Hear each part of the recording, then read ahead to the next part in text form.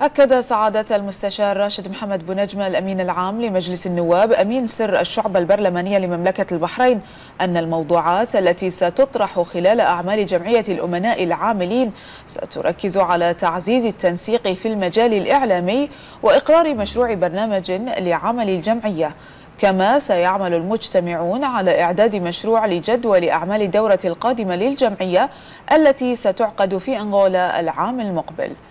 وذكر أبو نجمة خلال مشاركته في افتتاح الدورة الحالية لجمعية الأمناء العامين للبرلمانات الوطنية أن اجتماعات الأمناء العامين تصب دائما في صالح تبادل الرؤى وتنسيق وتنظيم الجهود والدفع بها قدما لتطوير أداء الأمانات العامة للمجالس للوصول إلى المستوى الذي يرجوه الجميع وبما ينعكس على مساندة مسار التعاون متعدد الأطراف.